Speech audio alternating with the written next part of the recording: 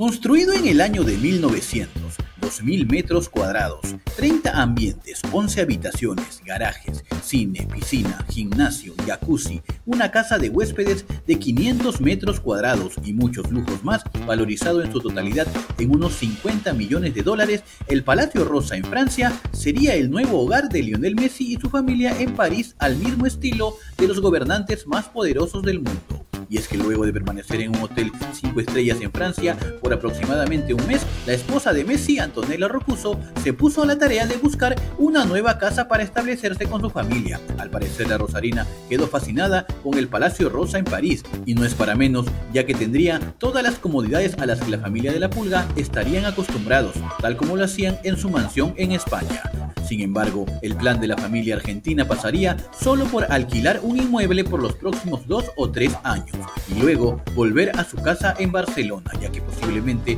luego del retiro de Messi del fútbol se quedaría a vivir en España y ocupar un cargo dirigencial en el club que le dio todo. Cabe señalar que una de las últimas adquisiciones del astro argentino fue en Miami Beach, donde adquirió un lujoso piso valuado en 7.3 millones de dólares. Pero volviendo al lujoso inmueble que posiblemente sea su hogar durante los próximos años, el Palacio Rosa está inspirado en el Gran Trianón que fue construido por Luis XIV allá por el año 1687. Ha sido el lugar de residencia de varias figuras reales francesas y extranjeras, clasificado junto al Palacio de Versalles como Monumento Histórico y Patrimonio de la Humanidad, declarado por la UNESCO. El palacio está ahora abierto al público como parte del Museo Nacional de los Castillos de Versalles y Trianon. Como vemos, ahora Messi vivirá como un rey. ¿Y tú qué le dirías a los Messi? Haz saber tu opinión en los comentarios y no olvides suscribirte a Perucho.